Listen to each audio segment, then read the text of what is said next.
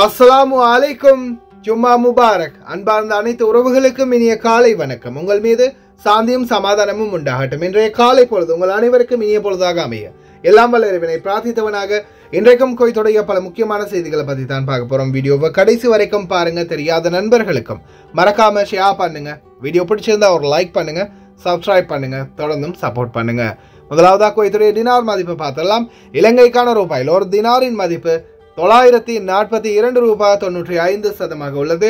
இந்தியாவின் ரூபாயில் ஒரு தினாரின் மதிப்பு இருநூற்றி எழுபத்தி நான்கு ரூபாய் மூன்று சதமாக உள்ளது. இது வந்து அல்முல்லா எக்ஸ்சேஞ்சினுடைய அப்ளிகேஷன் ஆன்லைன் ரேட் ஆகும். அதே போல கூகுள் ரேட்டை பார்த்தலாம் இலங்கைக்கு ஒரு தினாரின் மதிப்பு தொள்ளாயிரத்தி நாற்பத்தி ஐந்து ரூபாய் அறுபத்தி நான்கு சதமும். இந்தியாவின் ரூபாயில் ஒரு தினாரின் மதிப்பு இருநூற்றி எழுபத்தி நான்கு ரூபாய் அறுபத்தி ஐந்து சதவமாக உள்ளது. அதே போல் அம்மான் எக்ஸ்சேஞ்சில் ரேட்டை பார்த்தலாம் இந்தியாவுக்கு இருநூற்றி எழுபத்தி ஐந்து ரூபா ஐம்பது சதம் வழங்குறாங்க. ஐம்பது ரூ ஐம்பதாயிரம் ரூபாய் வரைக்கும். அதே போல் முப்பதாயிரம் வரைக்கும் தான் இலங்கைக்கு வழங்குறாங்க. தொள்ளாயிரத்தி எழுபத்தி மூன்று ரூபா அதே போல் சஜில் எக்ஸ்சேஞ்ச் இந்தியாவுக்கு இருநூற்றி எழுபத்தி ஐந்து ரூபாய் வழங்குறாங்க. அது வந்து லிமிட்டட் இல்லாத ரேட் தான். அதே போல் இலங்கையை பொறுத்தவரையில் தொள்ளாயிரத்தி எழுபத்தி மூன்று ரூபாய் ஐம்பது சதம் வழங்குறாங்க முப்பதாயிரம் ரூபாய்க்கு அதாவது முப்பது தினாருக்கு. அதே போல் தொள்ளாயிரத்தி அறுபத்தி இரண்டு ரூபாய் இருபத்தி ஆறு சதம் வழங்குறாங்க அது வந்து ஐம்பதாயிரம் ரூபாய் ஐம்பது தினாருக்கு. தொள்ளாயிரத்தி ஐம்பத்தி நான்கு ரூபாய் தொண்ணூற்றி ஒரு சதம் வழங்குறாங்க அது வந்து நூறு தினாருக்கு. நூறு தினாருக்கு மேலே அபவ் இன்னும் கொஞ்சம் ரேட்டு கம்மியாகும். சஜில் எக்ஸ்சேஞ்ச் மேலதிக தகவல்களுக்கு தொண்ணூற்றி ஏழு இருபத்தி மூன்று ஐம்பத்தி நான்கு அறுபத்தி ஒன்று என்ற இலக்கமுடாக தொடர்பு கொள்ளுங்கள் அதே போல் கேபிஇ எக்ஸ்சேஞ்ச் கேபிஇ எக்ஸ்சேஞ்ச்லேயும் பார்த்தீங்கன்னா எல்லா எக்ஸ்சேஞ்சுகளையும் போலவே ரேட்டு கொஞ்சம் பெஸ்ட்டாக இருக்குது. நூறு தினாருக்கு உட்பட்ட பரிவர்த்தனைகளுக்கு தொள்ளாயிரத்தி அறுபத்தி ஐந்து ரூபாய் வரைக்கும் வழங்குறாங்க. அதே போல் நீங்கள் ஒரு முந்நூறு நானூறு தினார் அனுப்புகிறதா இருந்தால் நீங்கள் நிச்சயமாக யூஏஇ எக்ஸ்சேஞ்சையும் சூஸ் பண்ணுங்கள் மற்ற எக்ஸ்சேஞ்சுகளில் நீங்கள் ரேட்டை செக் பண்ணி பாருங்கள் ஒரு முந்நூறு தினார் அல்லது நானூறு தினார் அனுப்ப போகிறீங்கன்னா மற்ற எக்ஸ்சேஞ்சுகளில் ரேட்டை செக் பண்ணிவிட்டு யுஏஇயும் விசிட் பண்ணி பாருங்கள் யுஏஇ எக்ஸ்சேஞ்ச் வந்து பார்த்தீங்கன்னா குருத்துபா மால்லையும் இருக்குது. அதே மாதிரி இன்னும் சில பகுதிகளிலையும் இருக்குது. நீங்கள் வந்து முதலாவது செக் பண்ணுங்கள் மற்ற எக்ஸ்சேஞ்சுகள் எவ்வளோ ரேட்டுன்னு ஒரு நானூறு தினார் அனுப்ப போகிறீங்கன்னா குறைந்தது ஒரு ஏழு எட்டு ரூபாய் சரி. உங்களுக்கு அதிகமாக தான் கொடுப்பாங்க யூஏஇ அதே போல குவைத்துடைய பல எக்ஸ்சேஞ்சுகளையும் அக்கௌண்ட் நம்பரை மறைச்சிடுறாங்க. இதை பற்றியும் உங்களுக்கு தொடர்ந்துமே தெரிய தருது. நீங்கள் ஏதாவது ஒரு புதிய எக்ஸ்சேஞ்சுக்கு பழைய பற்றுச்சீட்டோட போகிறீங்களா இருந்தால் நிச்சயமாக அதில் அக்கௌண்ட் நம்பர் இருக்கா அப்படின்றத செக் பண்ணிக்கோங்க. அப்படி இல்லாத பட்சத்தில் எழுதிட்டு போனாலும் பிழை இல்லாத அக்கௌண்ட் நம்பர் எழுதிட்டு போங்க. ஏதாவது ஒரு நம்பர் பிழைத்தாலும் கூட உங்களுடைய பணம் நாட்டுக்கு போய் சேராது. அந்த பணத்தை திரும்ப பெறணுமா இருந்தாலும் ரொம்ப நாட்களாகும். மறுபடியும் கட்டணம் செலுத்த வரும். அதே போல் எக்ஸ்சேஞ்சுகளில் பணம் அனுப்பி முடிச்சிட்டிங்கன்னா நிச்சயமாக பற்றுச்சீட்டை ஒன்றுக்கு ரெண்டு வாட்டி செக் பண்ணி பாருங்கள் எல்லா டீட்டெயில்ஸும் சரியாக இருக்கா? அக்கௌண்ட் நம்பர் சரியாக இருக்கா? அதே மாதிரி அவங்க சொன்ன ரேட் தான் விழுந்திருக்கா அப்படின்றதையும் செக் பண்ணிக்கோங்க. யுனைடெட் கல்ஃப் எக்ஸ்சேஞ்ச் கார்பரேஷன் இந்தியாவுக்கு பணம் அனுப்பு எழுநூற்றி ஐம்பது ஃபில்ஸும் இலங்கை பணம் அனுப்பு ஒரு தினாரும் கட்டணமாக அறவிடுறாங்க. அல்சாமில் எக்ஸ்சேஞ்ச் கார்பரேஷன் ஒரு தினார் மட்டுமே கட்டணமாக அறவிடுறாங்க. யூஜே எக்ஸ்சேஞ்ச் கார்பரேஷன் ஒரு தினார் மட்டுமே கட்டணமாக அறவிடுறாங்க. குவைட் ஏஷியன் இன்டர்நேஷனல் எக்ஸ்சேஞ்ச் எழுநூற்றி ஐம்பது ஃபில்ஸ் மற்றும் ஒரு தினார் போன்ற கட்டணங்களும் அறவிடுறாங்க. குவைத்தில் அல்நாதா ஏஆர்ஒய் அம்மான் எக்ஸ்சேஞ்ச் யூஜே அல்சாமில் Ansari exchange Lulu exchange Joyalukkas KBE UAE Oman exchange Bahrain exchange BEC world street exchange சஜில் exchange மலிக் எக்ஸ்சேஞ்ச் இன்டர்நேஷனல் எக்ஸ்சேஞ்ச் அல் ஷபா எக்ஸ்சேஞ்ச் இது போன்ற இன்னும் பல எக்ஸ்சேஞ்சுகள் இருக்குது. இன்றைய தினம் வெள்ளிக்கிழமை. வெள்ளிக்கிழமை நாட்களில் பார்த்தீங்கன்னா எல்லா எக்ஸ்சேஞ்சுகள்லையுமே தடபுடலாக ஏற்பாடுகள் பண்ணியிருப்பாங்க முன்னாடி ஒரு ஆளை நிறுத்தி வச்சுருப்பாங்க. ரேட்டெல்லாம் வந்து காதுக்குள்ளே சொல்லுவாங்க. நல்ல பெஸ்ட்டான ரேட்டுகள் இன்றைக்கி இன்றைய நாளை பொறுத்த வரையில் இருக்கும். அதே போல் பார்த்தீங்கன்னா சில எக்ஸ்சேஞ்சுகளில் ரேட்டு வந்து அவங்க போட்டிருக்கிற ரேட்டுக்கும் அவங்க எவ்வளவு அனுப்பக்கூடிய ரேட் அமௌண்ட்ன்றதையும் சில இதில் மென்ஷன் பண்ணியிருப்பாங்க அதில் நீங்கள் கட்டாயம் செக் பண்ணி பாருங்கள் எத்தனை ஆயிரம் ரூபாய் நீங்கள் அனுப்பினா இந்த ரேட்டு கிடைக்குது அப்படின்றது. ஏன்னா சில நேரங்களில் ஐம்பதாயிரம் ரூபாய்க்கு ஒரு ரேட் இருக்கும் ஒரு லட்சம் ரூபாய்க்கு ஒரு ரேட் இருக்கும். இதுக்கு எப்போ தான் மாற்றம் வரப்போகுதுன்னு தெரியல பார்க்கலாம். கஷ்டப்பட்டு உழைக்கிற சம்பளத்தை நல்ல எக்ஸ்சேஞ்சுகள் மூலம் அனுப்புங்க. அதே போல பணிப்பெண்களுக்கும் இந்த வாய்ப்பை பெற்றுக் கொடுங்க ஓட்டுநர்களே.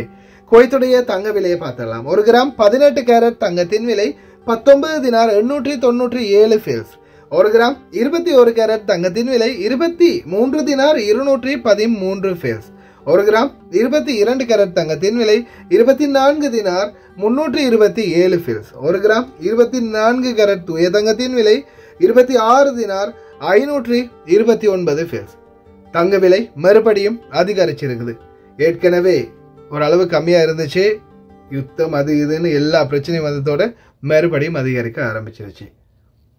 பெஞ்சமின் நித்யான்ஹுவை உடனடியாக கைது செய்ய உத்தரவு. அதே போலதான் பாதுகாப்பு அமைச்சராக இருந்த யோ கெலண்டையும் கைது செய்ய உத்தரவு. உயிர் மேல் ஆசை இருந்தா உடனே இடத்த காலி பண்ணுங்க. இல்லைன்னா அணு ஆயுதத்துக்கு நீங்களும் ஆளாகுவீங்க. புட்டின் எச்சரிக்கை. குவைத்துடைய பல பாகங்களையும் அதிரடியான சோதனை சுற்றி வளைப்பு கைது. ஆயிரத்தி அறுநூற்றி நாற்பத்தி ஏழு பேருடைய குடியுரிமை நிரந்தரமாக மறுபடியும் பறிபோக போகுது. எத்தனை பேருடைய கஃபீல் போக போகிறாங்கன்னு தெரியல. அதே போல் இதோ கசாலி ரோட் இன்னமும் இருபத்தைந்து வருட காலமாக திறக்கவில்லை. கவலைக்குரிய விடயம் அதே மாதிரி. இதோ வாகனத்தில் ஸ்டன் பண்ணி மற்றவர்களுடைய உயிருக்கு ஆபத்தை விளைவிப்பவர்களுடைய வாகனங்கள் பறிமுதல் பெரிய மண்டையின் கேமரா இன்னும் பல பகுதிகளையும் ஃபிக்ஸ் பண்ணிட்டு வராங்க. அறுநூற்றி ஓராம் நம்பர் ரோடு அதே மாதிரி இன்னும் சில ரோடுகளை பற்றி ஒரு சகோதரர் தகவல் அனுப்பியிருக்கிறாரு. ஸ்கேனிங் கேமரா உட்பட பார்க்கலாம் அனைத்து தகவல்களையும்.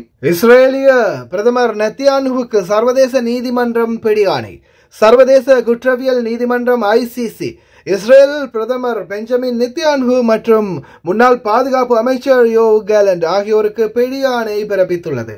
இஸ்ரேல் காசா போரின் போது அவர்கள் நடத்திய போர்க்குற்றங்களுக்காக இந்த பிடியாணைகள் பிறப்பிக்கப்பட்டுள்ளன. போர்க்குற்றம் கொலை துன்புறுத்தல் மற்றும் பிற மனிதாபிமானமற்ற செயல்கள் போன்ற மனித குலத்திற்கு எதிரான குற்றங்களுக்கு பொறுப்பேற்க வேண்டுமெனவும் அவற்றை நம்புவதற்கு நித்திய நியாயமான காரணங்கள் இருப்பதாகவும் சர்வதேச குற்றவியல் நீதிமன்றம் தெரிவித்துள்ளது.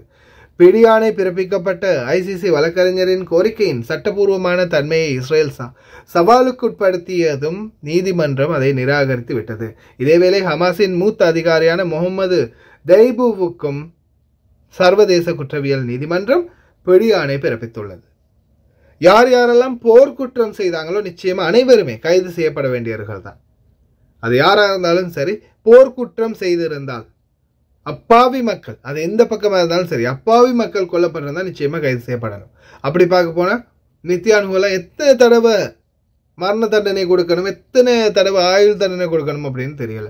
ஏன்னா நித்யான்ஹு அதே போல யோகாலண்ட் இவங்க ரெண்டு பேரும் சேர்ந்து செய்த இந்த மனித கொலைகள் இந்த மிருக வேட்டையில வந்து எத்தனையோ அப்பாவி பலஸ்தீன மக்கள் அப்பாவி மக்கள் பறி போயிருக்கிறாங்க. அதுக்கு வந்து நிச்சயமா பதில் சொல்லி ஆகணும். அதுக்கு எந்த ஒரு மாற்று கருத்தும் இல்லை. அரசன் நன்று கொள்வான் நின்று கொள்ளும் தெய்வம் என்று சொல்லுவாங்க இல்லையா? அந்த அர்த்தம் தான் இதோ நித்யான்ஹுவை விட அடுத்த கட்ட நடவடிக்கை எடுக்கிறாரு புட்டின். இப்போ உக்ரைன் நாட்டு மக்களை உடனடியாக ஒரு சில பிராந்தியங்களை விட்டு வெளியேறுமாறு உத்தரவிட்டிருக்கிறாரு. நீங்கள் வெளியேறாத பட்சத்தில் அவங்களுக்கு வந்து இந்த அணு ஆயுதம் தான் பதில் சொல்லும் அப்படின்னு தெரிவிச்சிருக்கிறாரு. மூன்றாவது உலகப் போர் வந்து இஸ்ரேல் ஆரம்பிக்க போகுது அப்படின்னு பார்த்தோம். ஆனால் இஸ்ரேலில் ஆரம்பிக்க போகிறது ஆரம்பிக்க போகிறது ரஷ்யா.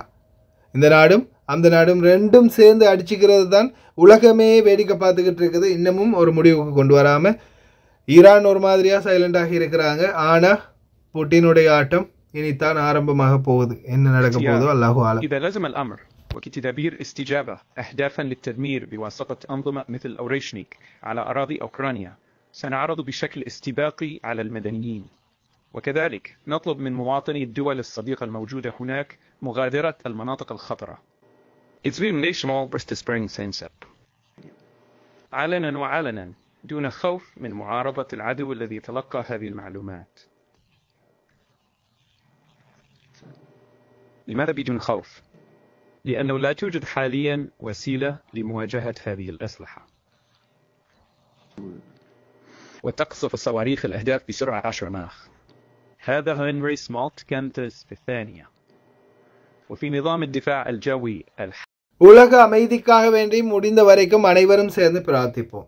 ஆனால் மூன்றாவது உலக போர்ன்னு அப்படி ஒன்று வந்துச்சுன்னா அதுக்கு பிறகு நம்ம இந்த உலகத்தில் இருக்கிறதே ஆபத்துன்னு அப்படின்னு தான் சொல்லணும். காற்று சுவாசிக்கிற காற்று கூட நஞ்சாக மாறும். நல்லா பாதுகாக்கட்டும். இதோ ministry of commercial and industry குறிப்பாக சில சில கட்டிடங்களில் பார்த்தீங்கன்னா சில சில பில்டிங்களில் வியாபாரங்கள் நடக்குது. இந்த வியாபாரங்களுக்கு எந்த ஒரு அனுமதியும் இல்லை அப்படின்னு தெரிவிச்சிருக்கிறாங்க. கமர்ஷியல் பிஸ்னஸ்கள் நடத்தக்கூடிய கட்டிடங்களுக்கு அனுமதி இல்லை. அதாவது சில குடியிருப்பு கட்டிடங்களில் இந்த மாதிரி வியாபாரங்கள் நடக்கிறதுக்கு எந்த ஒரு அனுமதியும் வழங்கப்பட மாட்டாது அப்படின்னு தெரிவிச்சிருக்கிறாங்க. அதே போல தான் கோயத்துடைய முனிசிபாலிட்டி மிக முக்கியமான சில இன்ஸ்ட்ரக்ஷனை வந்து கொடுத்துருக்குறாங்க. அப்பார்ட்மெண்ட்களில் அதாவது ப்ரைவேட் ப்ராப்பர்ட்டி ரெசிடென்சி ஏரியாவில் வந்து இருக்கிறீங்கன்னா நீங்கள் அப்பார்ட்மெண்ட்களில் உங்களுக்கான மிக முக்கியமான இன்ஸ்ட்ரக்ஷனை தான் கொடுத்துருக்குறாங்க. குப்பைகளை போடக்கூடாது. அதே மாதிரி வெளியில் குறிப்பாக குப்பைகளை வந்து வெளியில் அதிகமாக குவியலாக வைக்கக்கூடாது அப்படின்றத சொல்லியிருக்கிறாங்க. அதே மாதிரி இன்னொரு முக்கியமான விடயம் என்னென்னா ரோடுகளில் குப்பைகள் வந்து அதிகமாக தேங்கி நிற்கக்கூடாது குப்பைகளை வந்து வீசக்கூடாது. குப்பைகளை வந்து சரியான பராமரிப்பு இல்லாமல் குப்பைகளை வந்து வெளியில் வீசக்கூடாது. அதே மாதிரி வெளியில் ஜன்னல்கள் கிரில்களில் வந்து எந்த ஒரு துணியுமே காய வைக்கக்கூடாது. ஜன்னல் கிரில்களில் வெளியில் பால்கனிகளில் எந்த ஒரு துணியுமே அந்த ஜன்னல் கிரில்லையோ அல்லது பால்கனி கம்பிகள்லையோ காய வைக்கக்கூடாது. அதே மாதிரி தீ மூட்டக்கூடாது. குப்பைகள்லையோ குப்பை தொட்டிகள்லையோ தீ பற்றி எரிக்கக்கூடாது. அதே மாதிரி அனுமதியின்றி எந்த ஒரு இடத்திலுமே பண்ணைகளை நிறுவக்கூடாது. கடைகளுக்கு முன்னால் குப்பைகள் குப்பை தொட்டிகளுக்கு வெளியே சிந்தி கிடக்கக்கூடாது. அதே மாதிரி வாகனங்கள் ரோடுகளில் உடைந்து ரொம்பவும் டேமேஜ் ஆகின வாகனங்களை கொண்டு வந்து நிறுத்தக்கூடாது. ஸ்டிக்கர் ஒட்டப்பட்டிருந்தால் வாகனங்களுக்கு விலை பேசி விற்பனை செய்யக்கூடாது. அதே மாதிரி பொருட்கள் ஏற்றிச் செல்லக்கூடிய வாகனங்கள் எங்கேயுமே ரோடுகளில் நிறுத்தி இருக்கக்கூடாது. குப்பைகளை ஏற்றி செல்லும் போதோ அல்லது கழிவுகளை ஏற்றி செல்லும் போதோ எந்த ஒரு குப்பைகளும் வெளியில் கொட்டப்படக்கூடாது. அதே மாதிரி எந்த ஒரு இடத்துலையுமே மணல் தோண்டக்கூடாது. பள்ளங்கள் கிடங்குகளை வந்து தோண்டக்கூடாது. அதே மாதிரி பார்த்திங்கன்னா கேம்பிங் அந்த வாகனங்கள் இருக்கு இல்லையா அது வந்து எங்கேயுமே நிறுத்தக்கூடாது அப்படின்னு தெரிவிச்சிருக்கிறாங்க. அனுமதி இல்லாமல் ஐநூறு தினார்லேருந்து ஐயாயிரம் தினார் வரைக்கும் ஃபைன் ஆஃபர் பண்ணியிருக்கிறாங்க தயவு செய்து ரொம்ப கவனம். முனிசிபாலிட்டியுடைய ஃபைனில் மாட்டிடாதீங்க அதுக்கப்புறம் மம்னு சாப்பாடு தான். போகவே முடியாது. ஆயிரத்தி அறநூற்றி நாற்பத்தி ஏழு பேருடைய குடியுரிமை மீண்டும் பறிக்கப்பட போகுது. இப்போ ரீசெண்டாகவே பார்த்தீங்கன்னா கிட்டத்தட்ட அறுபது எழுபதாயிரம் பேருக்கு மேலே ஃபைல் வந்து மூவ் பண்ணியிருக்கிறாங்க. அதில் இப்போ ரீசெண்டாக மொத்தமாகவே ஒரு ஐயாயிரம் பேருக்கு மேலே குடியுரிமை இழந்துட்டாங்க. இப்போ இது வந்து ஆயிரத்தி அறநூற்றி நாற்பத்தி ஏழு பேர். புதிய டீம் இந்த புதிய டீமில் எத்தனை பேருடைய கஃபீல்கள் இந்த நாட்டை விட்டு போக போகிறாங்க அப்படி அவங்க போகும்போது உங்களுடைய பத்தாக்காவும் கேன்சல் ஆகிரும் அப்படின்றத ஞாபகம் வச்சுக்கோங்க. அதே மாதிரி உங்களுடைய மொபைல் ஐடியை நிச்சயம் ஆன் பண்ணி வச்சுக்கோங்க. மொபைல் ஐடியில் உங்களுக்கு தெரியும். உங்களுடைய பத்தாக்கா அங்கே கேன்சல் ஆகின உடனே மொபைல் ஐடி உங்களுக்கு என்ட்ராகாது மொபைல் ஐடி வேலை செய்யாமல் போயிடும் பத்தாக்கா நீங்கள் சீரியல் நம்பரை போட்டு மறுபடியும் மொபைல் ஐடி என்டர் பண்ணும்போது மொபைல் ஐடி உங்களுக்கு என்ட்ரு ஆகாது. அப்போவே நீங்கள் புரிஞ்சு கொள்ளலாம் உங்களுடைய அக்காமா கேன்சல் ஆகிடுச்சு அப்படின்னு. அதனால் மொபைல் ஐடியை ரெகுலராக யூஸ் பண்ணுங்கள் மொபைல் ஐடியை ரீஃபர்ஸ் பண்ணி அடிக்கடி பார்த்துக்கோங்க. அப்போ தான் உங்களுக்கு உண்மை நிலைமை என்னென்று தெரியும். அடுத்ததாக மஹபூலா ஃபேஹில் பகுதிகளில் அதிரடியான சோதனை நேற்றைய தினம் நடந்திருக்குது. இந்த சோதனையில் பார்த்தீங்கன்னா பலருமே கைது செய்யப்பட்டிருக்கிறாங்க.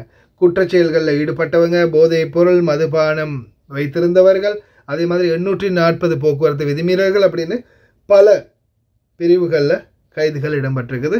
மறக்காமல் லைசன்ஸ் பத்தாக்கா இருக்கான்னு பார்த்துக்கோங்க ஓட்டுநர்களை வண்டியில் போகும்போது.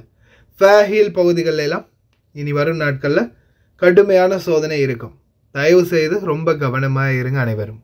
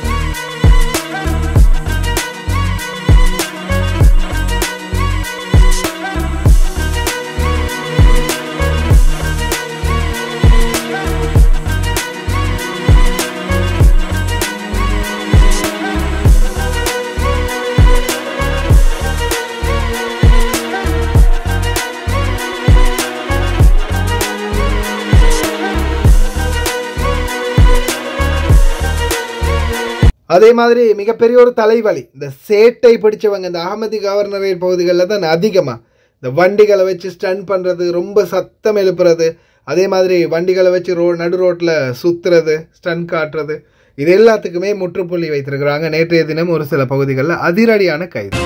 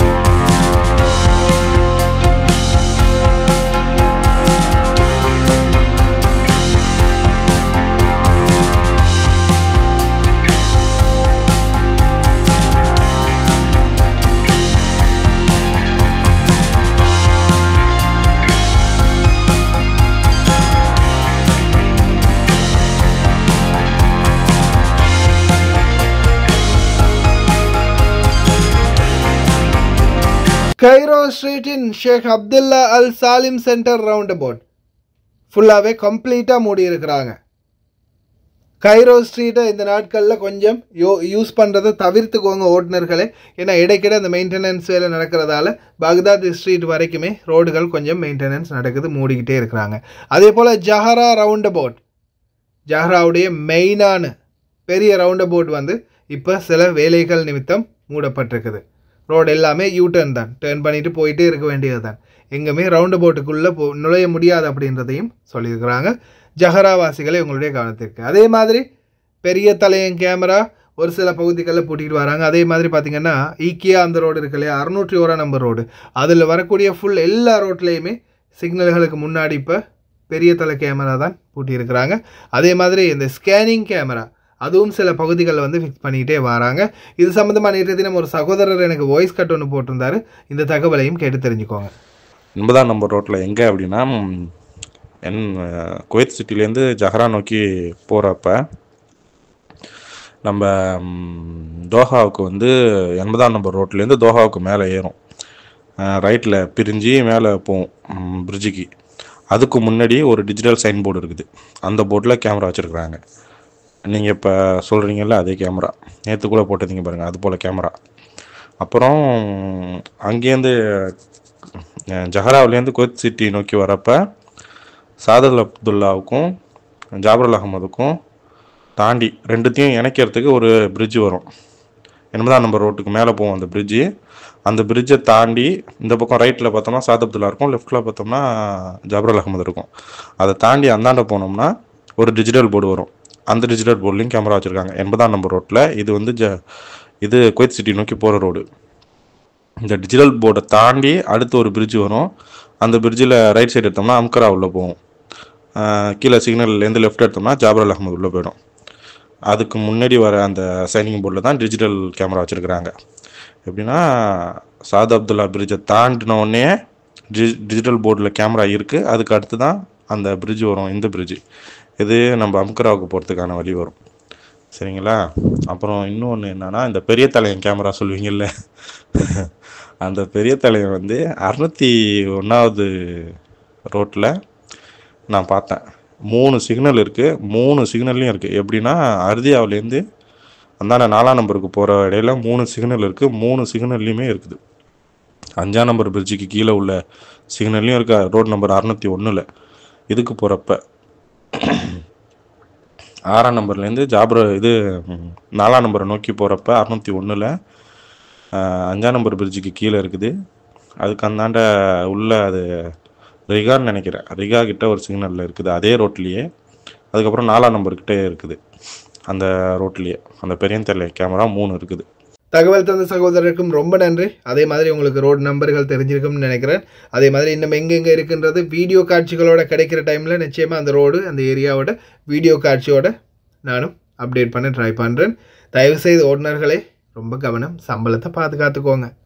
அடுத்ததா கசாலி. கடந்த இருபத்தி ஐந்து வருட காலமாக இந்த கசாலி ஐம்பத்தி ஐம்பதா ஐம்பத்தி ஐந்தாம் நம்பர் ரோடோட மேஜ் ஆகக்கூடிய சில ரோடு வந்து க்ளோஸ்லேயே இருக்குது. அதை உடனடியாக திறந்து வைக்குமாறு மீண்டும் ஒரு கோரிக்கை علي وزير الداخلية علي وزير الداخلية هذا شارع الغزالي المفروض في فتحة هذه كاهي موجودة هي نفس الفتحة الموجودة في كل جسور دولة الكويت بالدائري الثاني الرابع الخامس موجودة بس قبل 25 سنة في أسرة كويتية تعرضت إلى حادث في هذه الإشارة حلو أسرة كويتية ماتت الله يرحمهم جميعا بسبب أن واحد طايش دعم الأسرة وماتوا فقام النائب في هذه المنطقة وقال فزع حق العائلة فسكر ال- ال- الطريق القاتل.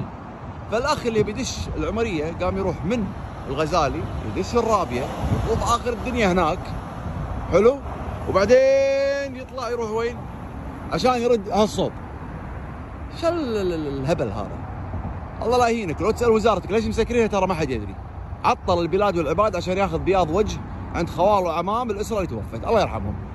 زين هذا تصميمه غلط. منو قال تصميمه غلط؟ هذا طالع. كل مكان شارع آه، داري الثاني آه، اسميه اصطلاحا شارع الحب موجودة نفس الفتحة. كل جسور الكويت نفس الشيء يدشون العالم يكسرون يسار لا هني مات فلان الفلاني حريمهم ماتت. سكر الإشارة مو بكيفك يا طيب. فالنائب أيام الهبل السياسي اللي كان بالكويت قبل 25 سنة سكر هذه الفتحة. الله لا يهينك. شيلوا هالصبات المقرفه هذه اللي عطلت البلاد والعباد وخلي العالم تروح مناطقها نفس البشر ما اقول لك اصرف وسو ومنشات وتص... لا بس كريني شيل ذولي شغل اشاراتك هذه والعالم تمشي واللي يطوف يخالف حط لك كاميرات اتوقع سهل الموضوع والموضوع اصبح لديك وشكرا சில ரோடுகளில் வந்து பார்த்தீங்கன்னா எந்த ஒரு பிரச்சனையுமே இல்லை ரோடு எல்லாமே கம்ப்ளீட்டாக ரெடியாக இருக்குது ஆனால் சில சில காரணங்களால் விபத்துகள் அந்த இந்த மாதிரி பிரச்சனைகளால் உடனடியாக பார்த்தீங்கன்னா நிறுத்தி வச்சிருக்கிறாங்க சில ரோடுகளை க்ளோஸ் பண்ணி வச்சிருக்கிறாங்க ஆனால் அந்த ரோடு மட்டும் ஓப்பனில் இருந்தால் பாதி டிராஃபிக் குறையும் ஆனால் அந்த ரோடுகளை இன்னுமே வந்து திறக்காமல் வச்சுருக்கிறாங்க. இது சம்மந்தமாக தான் வழக்கறிஞர் அந்த வீடியோ வந்து பதிவிட்டிருக்கிறாரு. பார்க்கலாம் எதிர்வரும் நாட்கள் இன்ஷால்லா நிச்சயமாக சில ரோடுகளை வந்து திறந்தாங்கன்னா தான் இந்த நாட்டில் இனி வரும் நாட்களில் சன நெரிசலை குறைக்க முடியும். வாகன நெரிசலை குறைக்க முடியும். ஏன்னா குவைத்தை பொறுத்தவரையில் வாகனங்கள் ஒரு வீட்டுக்கு பத்து வாகனம் இருக்குது. அப்போ அது எல்லாமே ரோட்டுக்கு இறங்கிச்சுன்னா இந்த நாடும் சின்ன நாடு ரோடுகளும் சின்ன ரோடுகள். கேப்பு பத்தாது எல்லா இடமுமே இப்போ சாதாரணமாக வாகனங்கள் நார்மலாக ஓடிட்டு இருக்கும்போதே டிராஃபிக்காக தான் இருக்குது. அதனால் தயவு செய்து முடிந்த வரைக்கும் இந்த ரோடுகளை திறந்து வைங்க. உள்துறை அமைச்சகம் மற்றும் பணி அமைச்சகம் என்று தான் அவங்களும் கேட்குறாங்க நம்மளுடைய கோரிக்கையும் அதுதான். தலைவலி நம்மளுக்கு தான் ஓட்டுநர்களுக்கு. டிராஃபிக்கில் போய் மாட்டினா அதை போல் ஒரு தலைவலி வேறு எதுவுமே இருக்காது. ஓகே ஃப்ரெண்ட்ஸ் தயவு செய்து ரொம்ப கவனமாக இருங்க. இந்த தினம் லீவுக்கு போகிறவங்க மறக்காமல் பத்தாக்காவோட போங்க. கடைசி வரைக்கும் பார்த்து எல்லாருக்குமே ரொம்ப நன்றி. தெரியாத நண்பர்களுக்கு மறக்காமல் ஷேர் பண்ணுங்கள் வீடியோ பிடிச்சிருந்தா ஒரு லைக் பண்ணுங்கள் சப்ஸ்கிரைப் பண்ணுங்கள் இன்னொரு நல்ல வீடியோவில் சந்திக்கலாம்.